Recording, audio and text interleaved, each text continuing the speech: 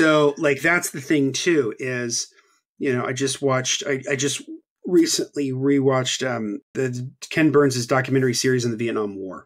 Um, but uh, you know, there were a lot of young men on both sides, you know, the Vietnamese and the the uh, and the Americans, whose lives were completely ravaged by the war. Yep. You know? uh, there's a corporal who in the American Army, his name was John Musgrave, and he talks about how even as a grown man, and he's in his 70s now, he sleeps with a nightlight um, because he can't be in the dark yeah. because of what he experienced in Vietnam. We talked earlier about like this system breeds sociopathy and like being crazy. Yeah. Um, I think war does that to people. I think it takes perfectly normal, healthy, kind, generous people and makes them monsters for yeah. the explicit purpose of uh, imperialism and domination.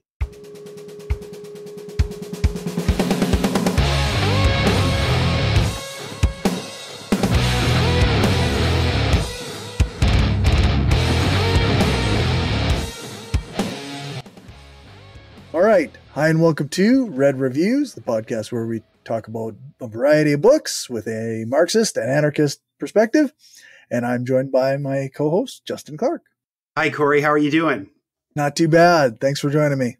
Thank you, uh, and and thank you for those who have been patient waiting for the new episode. Um, we weren't able to record last time because I didn't have any power at my house. I lost power for four days in January. Uh, it was awful. It was a whole ordeal. You can learn more about what horrors I experienced with that in the pregame if you're a patron. Um, right. To become a patron. Uh, and um, but uh, yeah, I'm back, and I have a new camera and I'm figuring out the lighting, and we're we're doing as best we can here. It's working. It's a work in progress. It is absolutely a work in progress. You know, so if you're like, "Wow, he looks like crap," I'm sorry. I'm trying. you know, uh, it's fine. Before, it's fine. I, but but yeah. So tonight, I think uh, this is going to be a really fun episode um, to kind of talk about. I think that in many respects, um, to sort of uh, quote Adam Johnson of the Citations Needed podcast. This one episode will be sort of a spiritual sequel to a previous episode we did. So um, we talked about Mutual Aid by Peter Kropotkin um, yep. and sort of thinking about evolution and through the lens of anarchism. Um, tonight we're going to be viewing evolution through the lens of Marxism. Um. And I think that the book is a good companion. The book we're going to talk about tonight is a good companion to Mutual Aid um, and this episode will be a good companion to that mutual aid episode. So tonight nice. we're going to be talking about Marxism and Darwinism by Anton Pannekoek. Um, Anton Pannekoek, um, easily one of I think the most interesting Marxists of the 20th century. Um, he was a part of the sort of libertarian Marxist tradition of people like um, Rosa Luxemburg. Oh, um, okay. And like Kropotkin, he was also a scientist. I think he was like an astronomer. So he did okay. a lot of work on like astronomy. I guess he's written like a very like popular book on astronomy that it's like it doesn't have anything to do with his politics. It's just he's he's good at astronomy. Right. Um and but he's but he's somebody who has that sort of interesting intersection of politics and science, which I think for the skeptical leftist uh, and for red reviews, I think that's right up our alley. Yeah, um, good, is thinking about that kind of stuff. Um, and Pannekoek is what you would consider a council communist. That was what he was. Okay. Um, and later in the year, we're going to do a book that's a collection of writings um, called Non Leninist Marxism about the council communists, of which there will be an essay we'll review in that book from Pannekoek. Um, he okay. also has the famous book Workers' Councils, which we might do later on. Um, but his politics are, are, certainly interesting and I think fairly close to my own um, in in terms of critiquing. Uh, I think some of the the more um, sort of authoritarian and problematic aspects of Leninism and the and the and the, and the, the real limitations of limit of Leninism um, which we'll talk about in a future episode when we do the Marcel Liebman book, which I've been um, getting through. And and uh, spoiler alert, I absolutely love this book, that book, and I can't okay. wait to do that episode. But we'll do right that in, in March. Um, so tonight we're going to start talking about Darwin and Marx. Um, okay. We are recording this uh, the day after Darwin's birthday. So Darwin was oh, born on February 12th, 1809, same day that Abraham Lincoln was born. Um, and I've always said that if you want to look at who might be the three most influential figures of the 19th century, I think the three are Karl Marx, Charles Darwin, and Abraham Lincoln. I, I, I think okay. that if you think if you think of the 19th century, of just the white dudes, we're not talking about women or anything like that. Right. Not that there's anything wrong with that. I women are important too.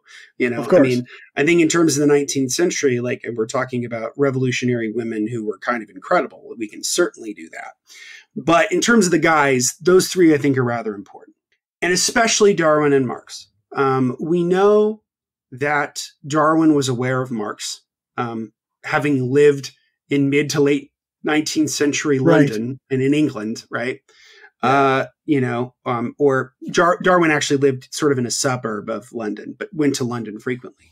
Um, and of course, Marx lived in London for most of his life as a as a essentially refugee from his own country. Right. Um, so he ha- he was certainly aware of Marx, and Marx was certainly aware of Darwin. There were letters of him writing to Engels and to others um, about that, and uh, and about uh, about Darwin, and I think that in many respects, um, they complement each other very well because both Marx and Darwin have um, an evolutionary way of looking at the world, right? So yeah. with Darwin, it's an it's evolution by means of natural selection in the natural world. So we're thinking about yeah. how evolution occurs in the natural world. With Marx, it's about evolution in the social world uh, of humanity. Yeah. Um, and so, uh, and so Pannekoek starts his book with this paragraph that I think is a good summation of what we've discussed so far, where, where he writes Two scientists can hardly be named who have, in the second half of the 19th century, dominated the human mind to a greater degree than Darwin and Marx. Their teachings revolutionized the conception that the great masses had about the world. For decades, their names have been on the tongues of everybody, and their teachings have become the central point of the mental struggles, which accompany the social struggles of today. The cause of this lies primarily in the highly scientific contents of their, of their teachings. The scientific importance of Marxism, as well as of Darwinism, consists in the following and the following out the theory of evolution, the one upon the domain of the organic world of things animate, the other upon the domain of society. So there again, we really get this sense that, you know, Darwin completely revolutionized our conception of the world. Um, that, you know, up until Darwin, most people sort of believed that every animal that's been on the earth just kind of started the way that they were and that they were put there by God or providence or some kind of, you know, and there were some who had natural conceptions of it, people who were precur- precursors, right? And you could certainly say that a lot of Darwin's ideas weren't necessarily original to him. And you could say the same thing about Marx. But what they both do, which is very important, is they are systematizers of all of the previous knowledge of both the natural world, sort of, you know, um, and the social world. Um, and so, with that in mind, I think that it's very natural to put the two together. They are right. not antagonistic in the way that people would think they are. In, in many respects, I actually think they're rather complementary. Yeah, yeah. Um, it seems seems natural to have, like you say, the the evolution of uh, on both sides of things. Yeah, um, and and that's you know, and, and again, Darwin and Marx are products of the Enlightenment, right? So the the Enlightenment, which is coinciding with the scientific revolution, you know, uh, you know, what Darwin is doing and what Marx is doing in the 19th century are great modernist projects. They're not postmodern, right? They're they're modern right. projects where it's systematizing information. yeah, they're literally. Um, they're systematizing ideas and concepts and coming up with grand unifying theories to connect them all. Yeah. With Darwin, it's evolution by means of natural selection, and with Marx, it's um, understanding of of the mechanics of capitalism, precise specifically, um, really honing in on the nature of the labor theory of value um, and the uh, and the the mechanisms by which capitalism um, emerges. So you know, and I, I think that that's all very very relevant because what what Darwin and Marx do is they demystify things for people.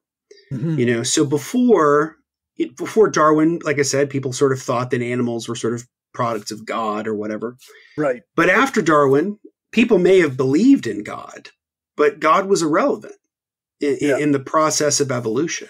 Yeah, they um, knew that, that, these things happen through natural selection and through yeah. yeah, through purely natural processes.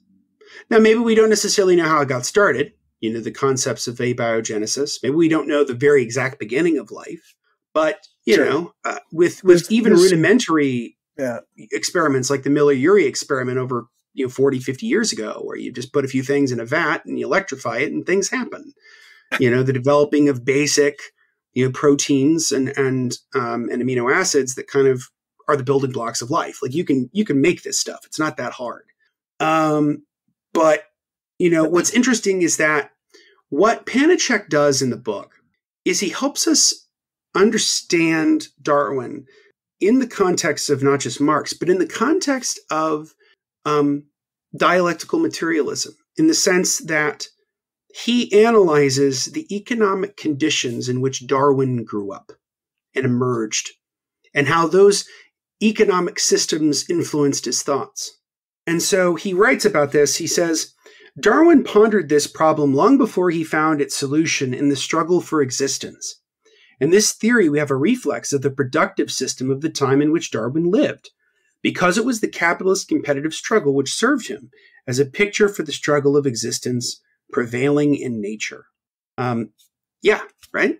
So Darwin, who's a product of the 19th century, the emergence of the capitalist system in Britain becoming fully dominant around the world, um, is seeing in it, in some respects, what Marx is seeing in it. Mm-hmm. Um, but the difference is, is that Darwin is seeing it in a more abstract sense and sort of the struggle for existence, whereas Marx is more explicit about, well, it's a struggle of existence between classes. Okay. And that class struggle element is very crucial. And so that's what kind of separates the two. Um, and so what we see with Darwin is the the real systematizing of this knowledge that had been built up by hundreds of years of people, whether it's Aristotle, Linnaeus, um, and even Malthus. I mean, Darwin has been very clear about Robert Malthus's influence on his work. Um, Robert Malthus, the theologian and, and, and economist, um, who wrote his grand theory on population. Um, you, yeah. our listeners may have heard the word Malthusian before, right? Yeah. So basically, Malthus's idea was that there will never be enough food to feed everybody. That, mm. that the propensity for people to reproduce, or you know, or creatures to reproduce, will not be you know directly correlated to the amount of food that they can consume, and as a result, you will have people who will die off, and the people who will die off will often be the weaker ones in that situation. Um, and uh, yeah, I mean, in general, you know, that's a theory that um, again, is very much influenced by that 19th century struggle for existence, the development of yeah. capitalism, right? Yeah, like uh, like you say, like because it is, it does lack a class analysis, right? it's, Absolutely. It's like, it's like assuming that the people who die off are the weak ones instead of the ones that were pushed into the the category that gets no resources. You're absolutely right, and you are anticipating how Pannekoek responds to this stuff. Okay. So, um, you know, so we'll we'll get to that in a bit. So we have um, with with Darwin, we have the theory of, of natural selection. That that's one of the key things that um, that's the central tenet of evolutionary theory and Darwin's influence. With Marx, it's really that it's those it's those class distinctions in the class struggle. Um, as Pannekoek writes, he writes, you know, Marx proved that these class distinctions were owing to the various functions each one played in the productive process. It is in the productive forces that classes have their origin, and it is this process which determines to what class one belongs. And so we're seeing here, again, a very natural process. Yeah. Because people often tend to mystify capitalism.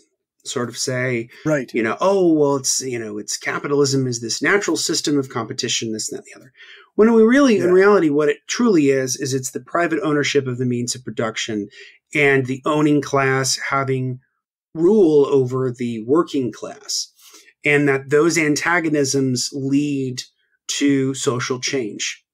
Um, and yeah, so we see that um, that we see like there's a there's a there's a very clear line of development. So very much like with Darwin, where you see you have you know sort of you have the the rudimentary um, molecules of, of, of amino acids and proteins developing into you know um, prokaryotic cells, eukaryotic cells, into you know various different trees of life up into up into human beings and others, right? Because people think of it as like a straight line, whereas like evolution's more like a tree. It's like a very big tree. Yeah. We all kind of come from the big tree and and the trunk of life. Um, Marx is doing the same thing, where he's saying there's a very clear line of development here between, you know, you know, pr- there's the sort of primitive communism or the primitive, you know, and then you have the development of uh, the feudal systems, and then you have the development of capitalism, and then eventually oh, ideally, hopefully, to socialism and and, and right. to the, the the society beyond class distinctions, beyond um, the commodity form, beyond uh, the the need for profit. Um, the other thing that Marx shows us too is very much like Darwin. Evolution's not a fixed process. You know, what humanity, human beings look like today may be fundamentally different from, you know, 50,000 years from now, right? Humans as we've existed, as what we look like right now, you know, we've only really been around a couple hundred thousand years yeah. as we are, right? Yeah. And uh, and all of us who are of European descent, you know, those are white generally, we all have a little bit, a bit of Neanderthal DNA in us too. So there's this yep. interesting crossbreeding, right? Which is always interesting because I was talking about this with my wife the other day about people who make arguments about racial purity and race science and bullshit like that. So yeah. if you want to make the argument for racial purity, then the most pure races would be the Africans. Yep. Because they're the ones who were Homo sapiens and they have 100% Homo sapien DNA. None of them are mixed with, you know, some, you know, quote unquote lowly races like Neanderthals as we, the Europeans are. Right. And we all have DNA from Africa because that's where life originated. That's where life originated. So you so in many respects the native Africans are the in the logic of race science nonsense, right. which it's yeah. nonsense, is all bullshit. But a good way to refute that nonsense is to say, well, by your own logic, then the purest races are the native Africans because they were never interbred with lesser with yeah. lesser races. There's no like, such thing as a pure white race. That's nonsense. Yeah, it's nonsense, right? There's no really no such thing as a pure African race, right? There's, no, that's, that's right. so absurd. But it's it's you taking that silly argument and taking it to its logical conclusion, you know, and and making them making them see how absolutely stupid it is. Yep. Because it is stupid. It is very um, stupid. Um, I guess we have yeah. a few comments here. I just want to, uh, yeah. Uh, some random geek is here, so uh, they said Darwin and Marx, two thinkers that the right wingers and reactionaries totally misunderstand a lot. Mm-hmm.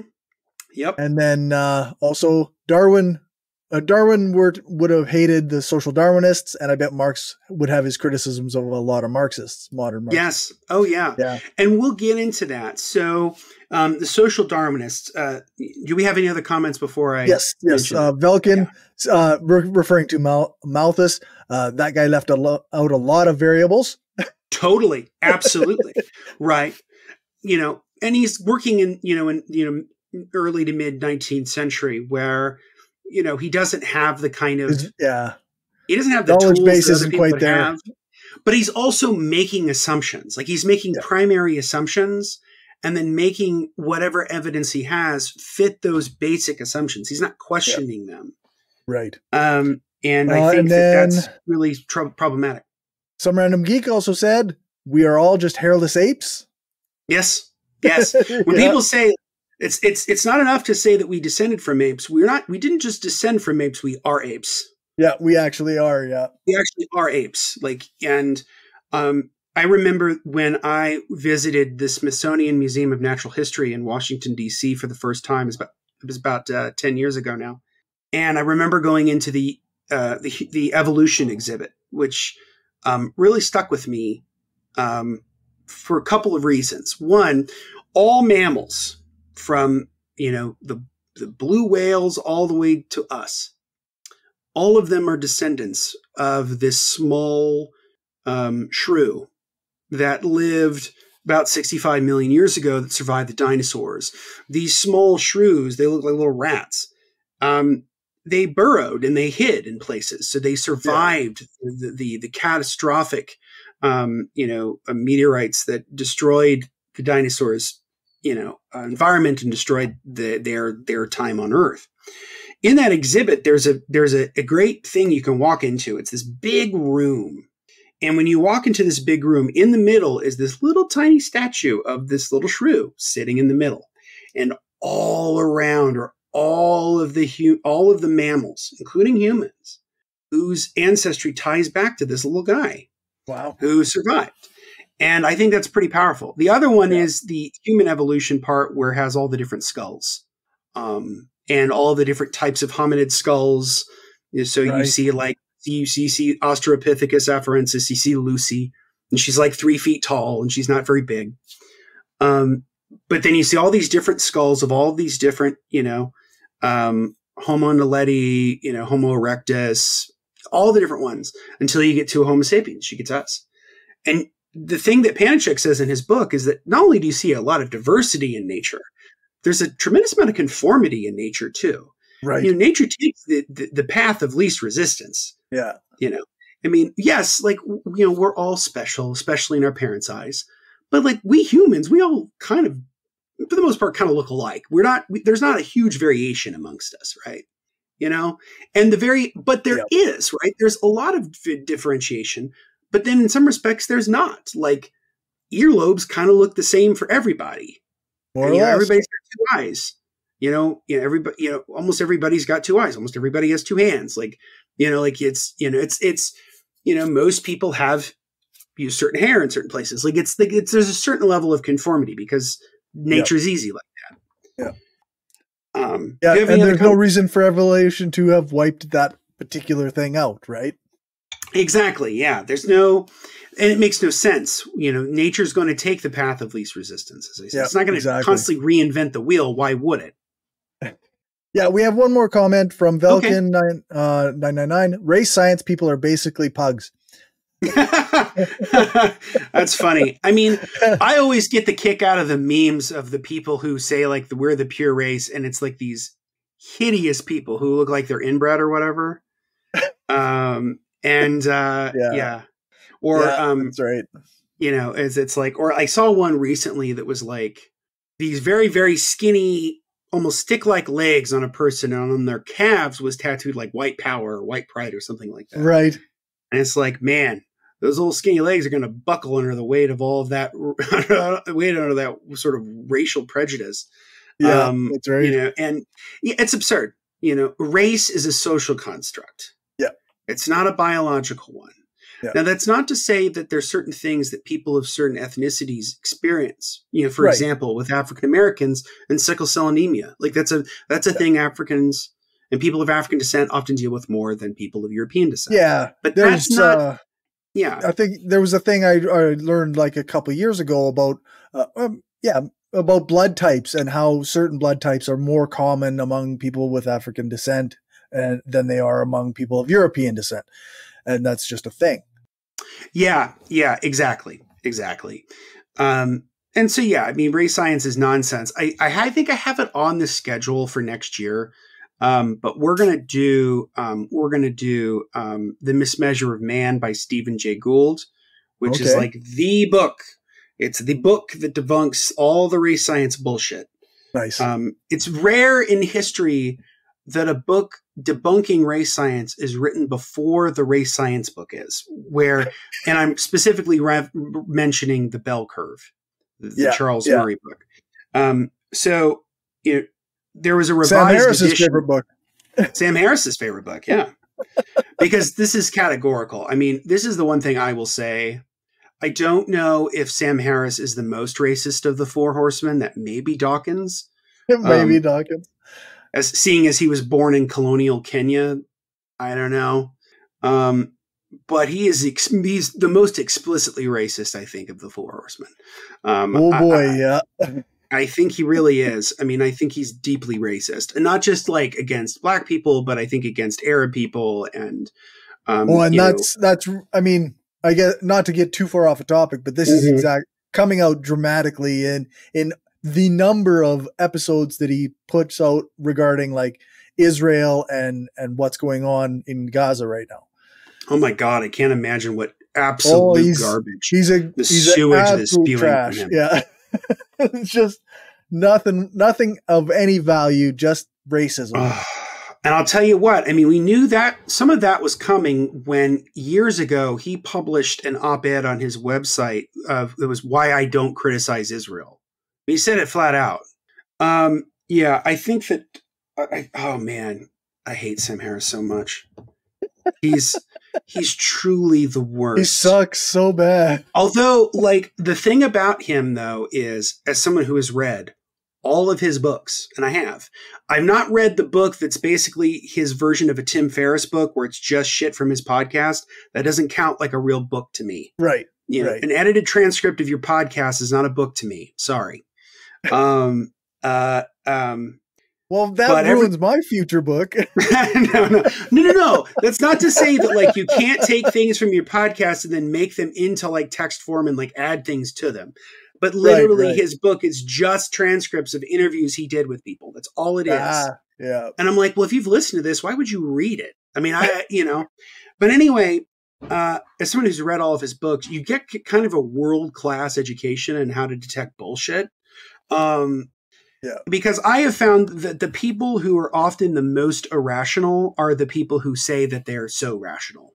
Um, yep. I, I, I've talked about this before. I call it the cult of reason, where you know they're just saying well i'm being reasonable so therefore blah blah blah blah blah it's like it's a it's a it's a sort of deflection from getting to the heart of the real issue where you can you know the, the logic bros i mean that's it's, i mean mind you some of that is so 2014 but it's i mean it's true, so past us now yeah. but uh, i'm not i'm not surprised in the slightest that that he has been just spewing utter bile on his tel- on his podcast yeah his his his views haven't really adapted since 2014. Like he's still the same guy that he was nope. then. So and that's the thing I have found fascinating about him and Dennett and all these guys is that they just don't change.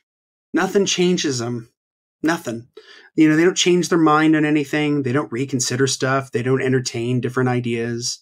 They're nope. not they're not doing critical thinking well. Um, you know, I mean, I mean, I mean, Dawkins himself is like the he's like the TERF de jour, right? Like it's he is yep. the worst on that stuff, and it's really sad to think that the Center for Inquiry, which was founded by Paul Kurtz, one of my uh, influences, and somebody, it's appalling that CFI uh, will back him on his anti-trans nonsense. Um, it, it, yeah. it kind of breaks my heart. Um, but that's why I will never give CFI another dime of my money. I will never step foot in a CFI building. Um, I am only loosely affiliated with them because, um, full disclosure, the Truth Seeker magazine, which I'm a contributor to, is funded by a foundation that's run by CFI. But oh. I don't, but, you know, I've never had to change anything I've said editorially because of that. Right. But, you know, I'm not directly financially uh, connected to, to CFI. Um, I think that that CFI, ever since the Dawkins merger, has become crap, and it, and it yeah. sucks. Um, yep. And it will only get better when, and it'll only improve when um, when Dawkins dies. Uh, it will only get better, and it may not. Who knows? But it will not get better uh, now. Yeah, yeah, yeah it definitely I, won't yet. Yeah, the the skeptical community is a huge dumpster fire of which I want nothing to do with. Um, and it's yeah. Essentially. we've, we've, re- we've relitigated this numerous times. So if you're hearing this for the umpteenth time i'm sorry. But yeah. Yeah. Uh, these people suck and we can move on. Um, sounds good. So let's talk a little bit about the the, the social darwinism stuff. Okay. um, so Pannekoek deals with this head on. So he makes the really good point that you know that uh, Darwin is certainly influenced by the competition that he sees in capitalism and sort of developing his theories of a natural selection. Mm. Um, and uh, it's no surprise that the bourgeoisie of the 19th century glommed onto it pretty quick because it, it, it, it sort of reinforced and justified what they were doing. You right. know, so they could look at Darwin and say, "Well, see, look, that you know, life is a is but a struggle and competition of the strong against the weak, and that's how yeah. capitalism is too." You don't um, fucking get it if that's what you're saying. and so, you know, we see this really, um, I think, messed up problem where uh, where Darwinism is used as a means to justify the egregious nature of the egregious excesses of capitalism, especially 19th century. Yeah. Um, and you know, so where does this social Darwinism come from? Wh- where is this stuff coming from? Well, really didn't come from Darwin explicitly. Um, in his life, right. Darwin you know? Whereas like marx often once said like if this is if this is who marxists are then i am not a marxist. Like in a letter i think he wrote to someone darwin did the same thing. He's like i'm not a social darwinist. That term was not coined by him. Survival yep. of the fittest was not coined by him. Most of this yep. goes back to a thinker of the 19th century named herbert spencer. Okay. Um, and herbert spencer who was kind of a giant of 19th century philosophy and and science who and politics who is largely sort of seen as a villain today and in many respects i think that's true.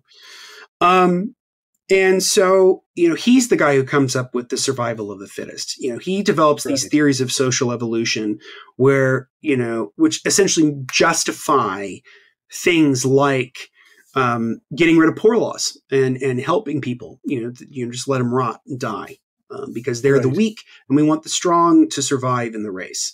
Um, this is where you get eugenics. Eugenics is a yeah. direct outshoot of this. Um, and the and the guy who coined the term eugenics and sort of created the science as we as as it developed science. I'm going to put that big scare quote. It's not science, yeah, it's the pseudoscience. It's a pseudoscience, um, fake science. Um, was Francis Galton, um, who was Charles Darwin's nephew. So Darwin is connected okay. to this stuff and we can't ignore that. But Darwin, right. in his lifetime, um, as I think Adrian Desmond has written, uh, Darwin was vehemently anti-slavery his entire life, and and saw the uses of sort of social Darwinism as a means to justify slavery or justify um, human misery. Um, he was very much against, and um, yeah. and so I think that you know Darwin was somebody who kind of stayed above the phrase of politics slightly, but every person is a product of politics. Every person is a product of the conditions in which they grow up. So, yeah. Um, so I'm going to just quote Pannekoek here real quick to kind of sum up what we've been discussing in terms of Spencer and Darwin. So he says, We wish to remark here on how a small change of almost similar words serves as a defense of capitalism. Darwin spoke about the survival of the fittest and those that are best fitted to the conditions. Seeing that in this struggle, those that are better organized conquer the others, the conquerors were called the vigilant and later the best, quote unquote. This expression was coined by Herbert Spencer. And thus winning on their field, and thus winning on their field, the conquerors in the social struggle, the large capitalists, were proclaimed the best people. Um, and so it's this sort of def- it's this defense of individualism and capitalism and hierarchy. The divine right of kings, based on divine right of kings. The false view of fucking uh, Darwinism or evolution. Yeah, it's a way of justifying what they're doing, yeah. um, and it's very similar to um, uh, the religion and the ways that 19th century capitalists would use religion and sort of morph Christianity to their purposes. Engels writes about this, I think, very eloquently in his um, one of his introductions to one of his pamphlets. I think it's Socialism, uh, Utopian and Scientific. And so, you know, what's what we're really seeing here is that there's a lot that's left out in the story of evolution. And what's really left out is something that we've talked about with um, with Kropotkin. And in fact, Pannekoek mm. actually actually references um, Kropotkin um, oh, okay. in saying that one of the things that we learn is that uh, species are often sociable, and that sociability or mutual aid, as Kropotkin called it, is a key element, a indispensable element to evolution. Not just natural evolution by means of natural selection in the Darwinian sense, but evolution in the social sense. Because yes, we, we can talk about the evils and horrors of capitalism, of which there are, nu- are numerous, but capitalism is an objectively better system than feudalism is. There's right. a certain there's a certain element in which capitalism is much better. Um, that there's you know, and that socialism there's an there's sort of a, an evolutionary nature to it. That, that capitalism is can provide certain things to people um, in ways that e- prior economic systems could not. Yeah. So he so Kropotkin hits on something that's very very important in the book, where he says when a number of individuals live in a group, herd or flock, they carry on the struggle for existence in common against the outside world. Within such a group, the struggle for existence ceases. The animals which live socially no longer wage a struggle against each other, wherein the weak succumb. Just the reverse. The weak enjoy the same advantages of the strong. So he's not saying exactly what terms they would use um, later on in the sort of evolution debates, especially the 1970s. But we're talking about group selection versus individual selection. So, and, you know, so what you're seeing is that within groups, there's a tremendous amount of sociability, that it's actually in people's self interest to cooperate and be social with one another, right? Um, this is where if you you know this is where with like say for with with um, wolves for example, if you have a wolf that is a part of a tribe that is you know unhinged and doesn't go along with the social affections, they will that group will likely cast that one out for yep. lack of sociability, right? So yep. in fact, that desire for competition actually leads to the death of an animal within a group. Yep. Now there is still competition to a certain extent between different types of animals, as sure. some animals eat others, and that's the food chain. Yeah. But what we see is a, a tremendous amount of sociability within animals. So this this debate is something that Pannekoek wrote about well over 100 years ago, which is still very much there today, which is the individual versus group selection. People who believe right. in the sort of individual selection or gene selection, those are people like Richard Dawkins, selfish gene, all that. Yeah. People who believed in group selection are people like David Sloan Wilson and uh, and um, uh, Stephen Jay Gould, um, who argued that group mm-hmm. selection is is actually a, a huge key factor in evolution as well. And uh, I think that the evidence has, I think, shown that, that Gould and Wilson are right. Um, that that uh, you know, how could a species survive? It was if it was constantly competing with itself. So um, so yeah. So th- this is the thing that he sort of says, and he says, you know, the power, meaning you know this power of, of sociability, is or the power of groups doing well, is found in the social motives, the instinct that holds them together and causes the continuance of the group. Every animal must place the interest of the entire group above his own. It must always act instinctively for the advantage and maintenance of the group without consideration of itself. And we see this, right? We see this in people, right? Like, you know, uh, for example, this is when, you know, a, a firefighter will go into a burning building to save a child that's not his own. Yeah. Yeah. Because it's, it's, so being sociability is good for for for the human race because yep. and it's good for other races. Um so yeah so i think sociability is really really important.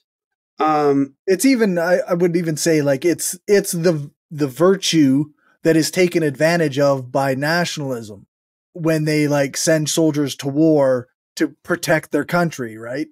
They it's yes. it's the same like they believe they're doing something honorable because of that sociability within species even though they're being manipulated by powers that be you know but it's the same same idea. It's the same logic. You're right. It's the same logic that exists in um, you know with sports and yep. and competitions, right? So you know within the group, you know it's like you know let's let's say the Super Bowl just happened. You know if if the Kansas City Chiefs, you know who won the Super Bowl, Uh, yeah, did you know there was a sports ball thing that happened? The Kansas City Chiefs, who who just won the Super Bowl, like they couldn't have won the Super Bowl if like Travis Kelce was like beating up one of his you know his teammates, right? Like right. they're yeah. working in concert together. Yeah. In competing against another team who's also working in concert together, right? So they're competing against each other, but they're not competing within the groups. That's right. So it's it's you know you can see it even in in social attitudes um, Yep. in regards to sports. So you know what we see here is that um, that in the animal world, this is Uh, I guess- again. Oh yeah, we got comments. We can stop. Yeah, we got a couple comments. I would uh, I was just gonna say Velkin, uh Velkin 999 said Darwinism plus capitalism is like what if we took the struggle that had to take place to reach this potential uto- utopia and repeated it when we have abundant resources but with monopoly money. Yeah, it's true. Yeah, um, yeah. I think one of the most incisive then- critics on this. Oh yeah, I was just going to say one of the most incisive critics on um, like like the sort of social like the social Darwinist components is Thomas Frank, um, the sort of Okay. god of the market stuff. Yeah, and then uh, some random geek said uh, Emma Golden, uh, probably Goldman, even Yeah. has an essay on how patriotism is weaponized for army recruitment and such. absolutely, And then, absolutely. don't you want to defend your country? Yeah. Yes, this is exactly right. Right. So you're seeing that all of the elements which are good in people, that sociability, that connectedness, the affability, mutual aid, kindness, altruism, all those things that humans are capable of, um, get used for selfish ends. Yeah. And and it's how um, you know, that's why when people say, "Oh, well, it's natural for humans to war against each other," and I'm like, maybe, but like the fact that the fact that so many people who go to war have PTSD. we um, will uh, never know if it's natural as long as there's people who have power over us manipulating us into doing it. and it's in their self-interest too right Yeah. so like that's the thing too is you know i just watched i, I just recently rewatched um the ken burns's documentary series on the vietnam war um Okay. and we're going to do an episode later in the year about the vietnam war because it's on my mind a lot recently um but uh you know there were a lot of young men on both sides you know the vietnamese and the the uh and the americans whose lives were completely ravaged by the war. You know, Yeah. you know. Uh, there's a corporal who in the American Army. His name was John Musgrave, and he talks about how even as a grown man, and he's in his 70s now, he sleeps with a nightlight um, because he can't be in the dark Yeah. because of what he experienced in Vietnam. And Yeah. you take you, and we talked earlier about like this system breeds sociopathy and like being crazy. Um, I think war does that to people. I think it takes perfectly normal, healthy, kind, generous people and makes them monsters for the explicit purpose of uh, imperialism and domination. Um, you know, and so yeah, I think that war is. You know, I think you're right. You know, it's it's never really been tried whether or not war is actually natural. My hunch is that it isn't, or at the very least, it's not in the way that we do it on the big scale. No. Yeah. Uh okay, two more. Okay. Velkin 999, patriotism, the mind killer. Yes, Yeah, absolutely, absolutely. Um, another good book on this, eh, on big, another good book on that is "Super Patriotism" by Michael Michael Parenti. Okay. if you want to kind cool. of explore that more. And then uh, some random geek also said, I hate the natural argument anyway. Is it natural for men to want to have sex with women and get excu- used to excuse terrible acts? Quote unquote, what was she wearing? Sort of thing. Yeah, no, I think you're absolutely right. I think you're Yeah. absolutely right. So that is called the naturalistic fallacy, and Yeah. um, that that just because things are this way, that somehow it was natural. Um, one of the biggest perpetuators of the naturalistic fallacy is Jordan Peterson, um, with his Yep. whole lobster bullshit. Right, like Yeah. lobsters have hierarchies, so like people should have hierarchies. Like, first off, lobsters are sea bugs. They're like fundamentally different than us, right? Yeah, because right. it's not like they're coming out of the ocean like Dr. Zoidberg and talking. You know what No. I mean? You know, Yeah. they're not they're not we've coming in and being evolved like past that. it's just absurd, right? And um and so uh yeah, I just think that's really crazy. Um, and it really, and it also, Every- yeah, I was just gonna say every single natural example, like example they use in nature to dictate hierarchical behavior in humans, is actually like a misunderstanding of that frigging thing, right? Like the whole Yeah, alpha wolf thing. That's not a real thing. yep, they don't. That's They not a real misunderstand the way that apes behave. You know, based on resources resources that are available. Like they just everything they say is wrong. And if you're somebody who has grown up your entire life and has never questioned anything of like basic assumptions, because I think that's one Yeah. of the key things of being on the left is like constantly questioning base assumptions, of thinking through those things deeply. Um, Yeah. Is um, and being a critical thinker is like challenging and questioning capitalism, challenging and questioning hierarchy, challenging and questioning the this quote unquote natural order of things, right? Yeah. Because there isn't a natural order, right? Um, I saw the internet was um, absolutely incensed with itself that there's this new movie, uh, I think about Alexander the Great, and in the first few, I think in the first like ten minutes, he like he, he he's intimate with another man Yeah, and because someone's like, yeah. "Oh, the woke agenda has gotten to Alexander the Great," and here I am, you like a learn student of history, history. guy. It's like, yeah, noted heterosexual Alexander the Great. Um, it's just so odd. It's just, you know, th- that if you actually go Yeah. back to the ancient Greeks and Romans, they were far more comfortable, far more comfortable with homosexuality than we are. Yeah. Uh, and, and and again, I would say a lot of that stems from you know Puritan Christian morality. Yep. Uh, and so yeah, yeah, it's this- this idea that oh, well, it's natural for a man and a woman to be together. Well, if the natural end result is having a child, then then you can make the argument that maybe that is. But what if the the- what if the result of two people being intimate with one another is just the pleasure of the act itself, which can be which is Yeah. just as natural as the child that might be created from two people who conceive a child But that's a sin, dude. It's a sin, bro. Um, you know, uh, yeah. Um, I, I, you know, Gore Vidal once said something about this. He, you know, he said that um, it's just as natural for someone to be a homosexual it is for them to be heterosexual. Um, seeing if someone is a homosexual or heterosexual is about the same. It's about the same difference of someone who has blue eyes and someone who has green eyes. Yeah. And and and and uh, and um, the, the the person who he was being interviewed by pushed back and was like, "Well, who says that?" And who, who says so? And and and Gore Vidal was such a badass. He just goes, "I say so."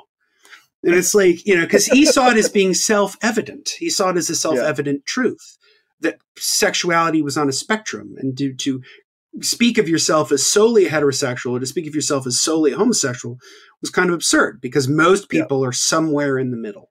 Um, and yeah, Yep, for sure. Lean one way or the other, but yeah, lean one way or the other, but in general, one I- hundred I-. Yeah, I don't think there's any. I don't think there's a, such a thing. I, I, don't. Yeah, I think there are don't either. proclivities, certainly, but we all know that, like you know, that uh, that yeah, I think being homosexual is is is very natural. I don't think it's Yep, unnatural sure. at all. Um, and E.O. Wilson's written about this, the great biologist. He's talking about there's gay stuff going on in the animal kingdom all the Oh, yeah. time, all For the sure. time. We got gay lions, we got gay penguins, we got. I mean, it's doesn't. You know what I mean? Like it's so absurd to think that that uh that um you know that uh the, the, the animal kingdom cares about our puritan christian morality Yeah. know, which is deeply unnatural i mean it's you know christian ethics in a lot of ways are deeply unnatural especially on the nature of sex Yeah. um you know uh but uh but yeah so in the latter part of the book Hey. He talks a lot about the importance of how did humans become who they were and this is really where he's very influenced by um, Friedrich Engels. Uh, and Friedrich Engels wrote a short section. Uh, we got another comment. We can do that real quick. Yeah, it's just it's just some random geek. I'm sick of the chemicals in the water turning the freaking frogs gay. yeah, I couldn't That's do my Alex. Jones voice, but it, made me laugh. So That is pretty amazing. I'm going to see if I can find this real quick. Yeah.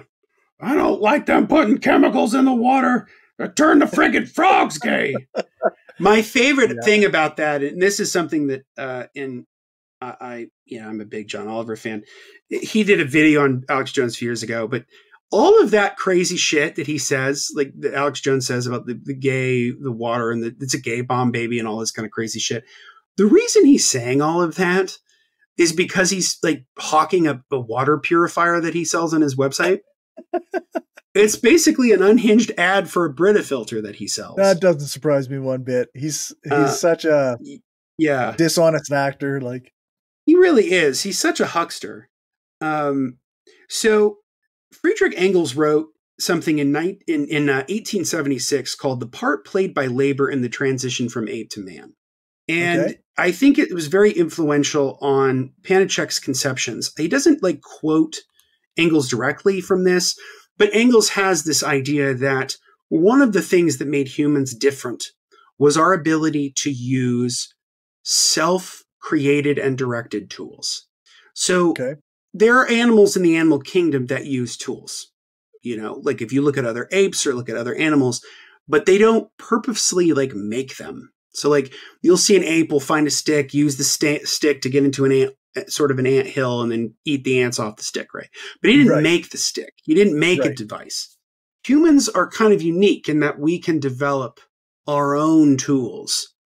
Right. So uh, Pannekoek writes about this. He he talks that um, you know that the way in which tools are developed are inherently soci- sociable. That, you know, tools in and of themselves are sociable. You know, for example, you and I are, are speaking through language. That is a tool right. which means nothing to one individual person, but it means everything to the way that you converse with someone else yeah. or even converse with your own mind. You know, I mean, I think most people think in language. They don't you know, or they think in pictures and those pictures are then referenced translated. Yeah, they're translated yeah. into language. Um, and so you know, he talks about how you know knowledge in the use of tools is not born with man, but is acquired later. Mental tradition, such as it is only possible in society, is therefore necessary. So from the very beginning, Homo sapiens are a sociable species. We develop means of communication through language.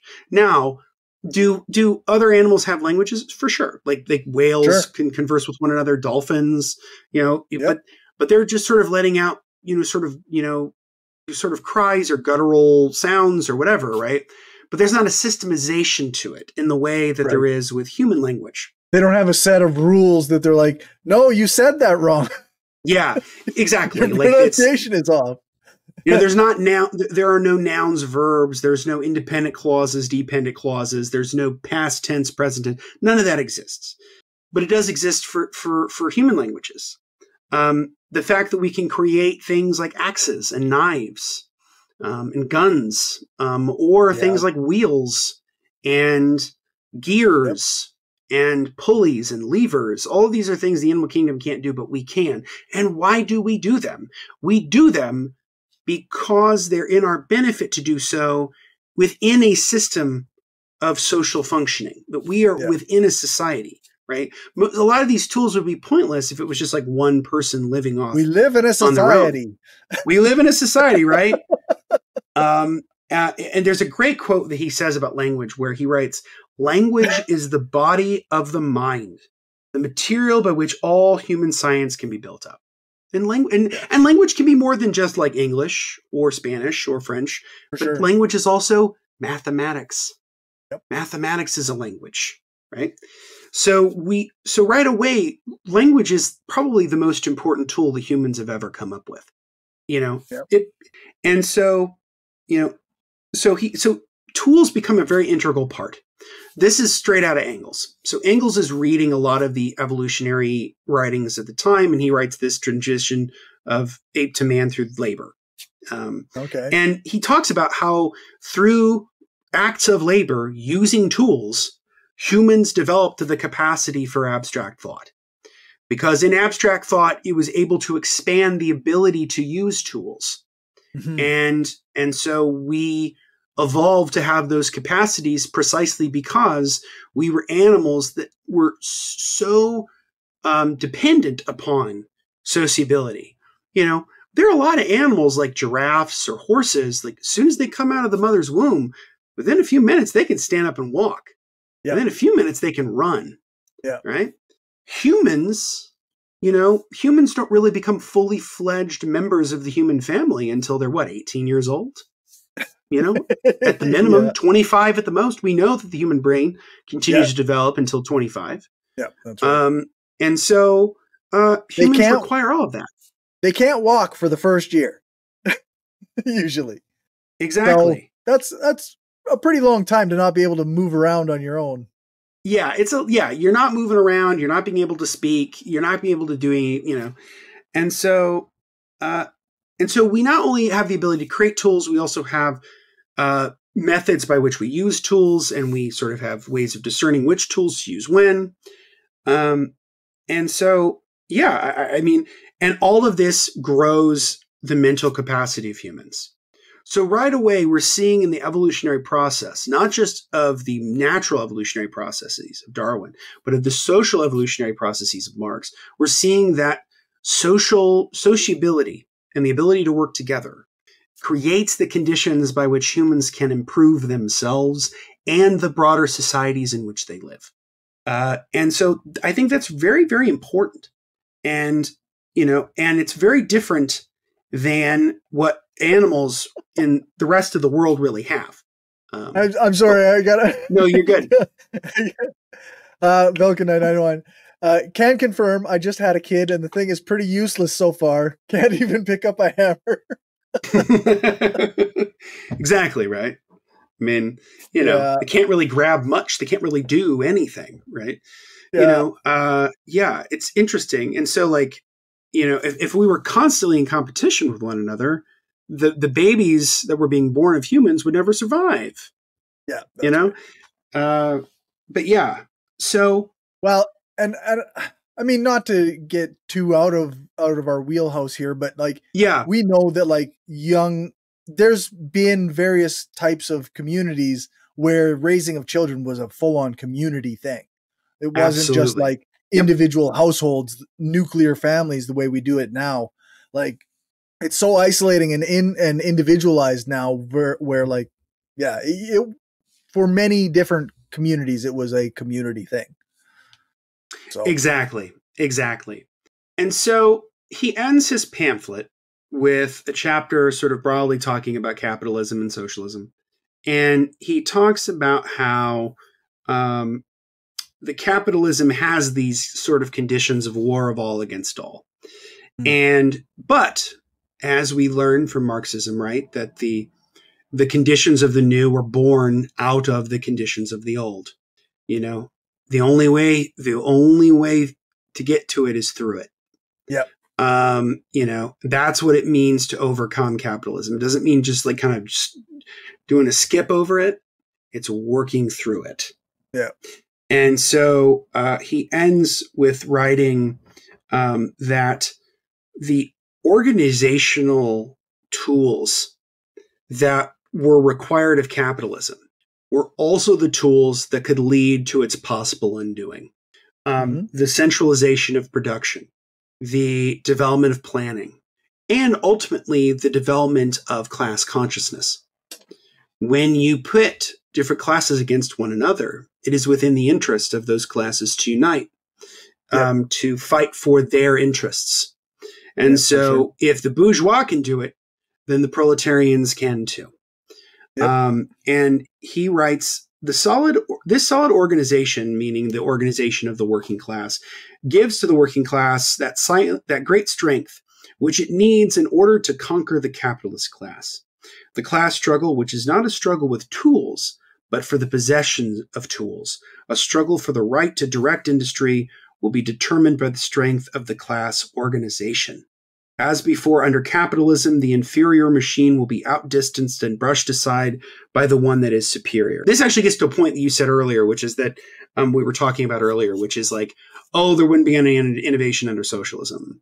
Um, Right. And Pannekoek takes this head on and he says, um, let us now look at the future system of production as carried on under socialism. The struggle leading to the perfection of the tools does not cease. As before under capitalism, the inferior machine will be outdistanced and brushed aside by the one that is superior. As before, this process will lead to greater productivity of labor. But private property having been abolished, there will no longer be a man behind each machine calling it his own and sharing its fate. Machines will be common property, and the displacement of the less developed by the better developed machinery will be carried out upon careful consideration. Um, I mean, it's right there, right? So innovation, efficiency, these are all things that like would happen under socialism. Yep. Not only because it it makes the system work better as a whole for everyone, but it's also in people's self-interest to do that.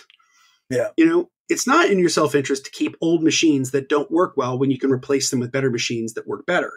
Right.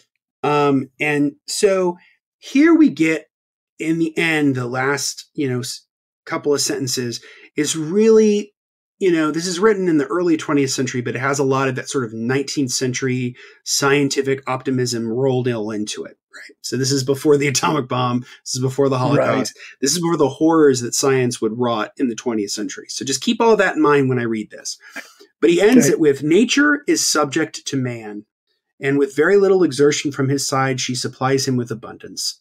Here, a new career opens for man Man's rising from the animal world and carrying on his struggle for existence by the use of tools ceases, and a new chapter of human history begins. And so this is the nature of socialism, right? That this is something straight out of Marx too, Marx and Engels. That yeah. that with the development of socialism, um, there will be a new, the real human story actually begins. That what we're living in now is in many respects a very prolonged uh, uh, an elongated um, prehistory um, yeah. that uh, will only be transferred into the beginnings of real human history with the development of socialism. Um, yeah. And so, uh, so that, in a nutshell, is Darwinism and Marxism by Anton Pannekoek. A great little book, uh, you know, more of a pamphlet than a book, but I think indispensable in thinking about how Darwin, in many respects, is not a refutation of Marx, and Marx is not a refutation of Darwin. Yeah. In good dialectical fashion, they interact with one another. Yeah. connecting together and interacting with one another and helping us understand ourselves and the world that we live in. Yep. I like that. All right. Well, what are we covering next time?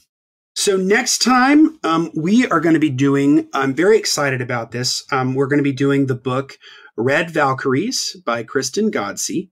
Okay. Um, it is going to be a book about five revolutionary women. Um, so we're going to be doing women's history, and we're going to be talking about um, women who were from the Soviet Union and Bulgaria and Eastern Europe who, uh, in many ways, created a proletarian feminism that is a heritage that we should be very proud of and learn from. So right that's on. what we'll be doing next time. Awesome. And that leaves where can people find you? So you can find me at justinclark.org. That's the website right down here. Um, that's where you can find all my writing. You can find all of the po- uh, episodes of the podcast there. Um, and uh, I will be working on a new article for the Truth Seeker that will be out probably in the spring, where I'm going to be doing sort of an assessment of Stephen Jay Gould's idea of non overlapping magisteria in relation to religion and science. Um, okay. Um, his book, where he outlines that idea, Rocks of Ages, is going to be 25 years old this year. Um, so I'm going to kind of go back and think through that. And I believe, uh, uh, because I believe in knocking out two birds with one stone, we'll also be talking about that book on the podcast too. Um, nice. And so and so the last thing I will say as well is oh two things. Um, you can also follow me on social media. Uh, I'm at Justin Clark PH. PH stands for Public History.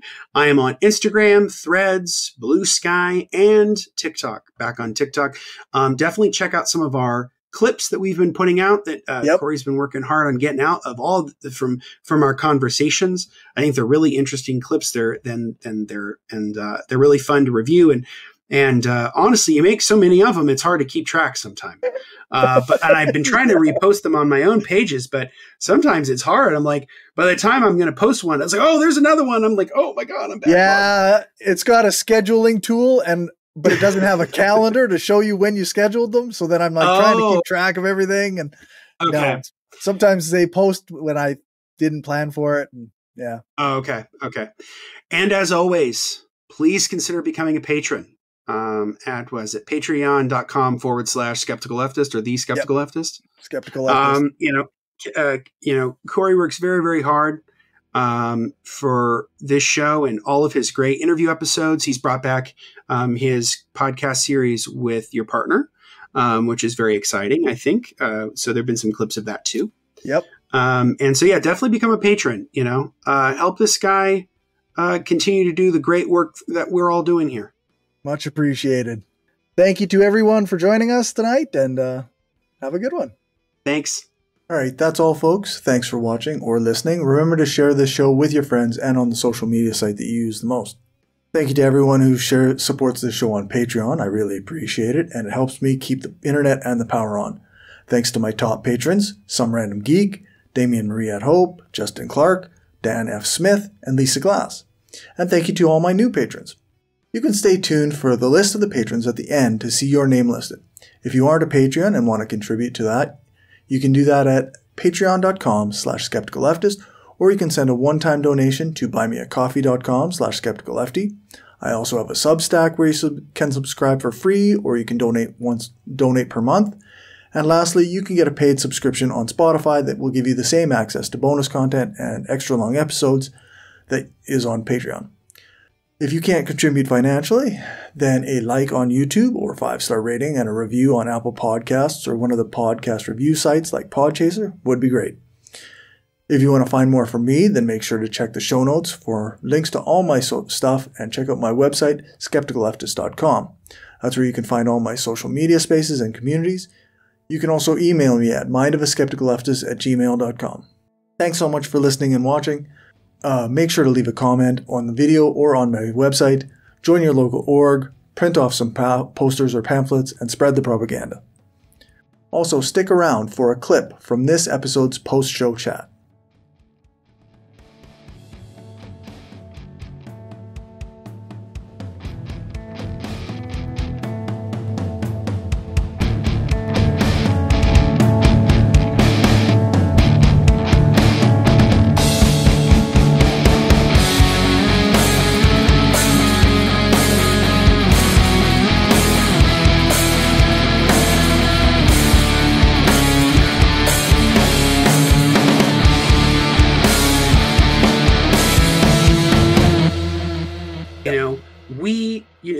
States made a very clear decision to, instead of being a democratic republic in service of the people, it Yeah. became a fucking empire. Yeah. And it's destroying itself from within because it's an empire. Yeah. And in order for the republic to thrive, the empire has to die. And and it will not die easily. Yeah. But it will die.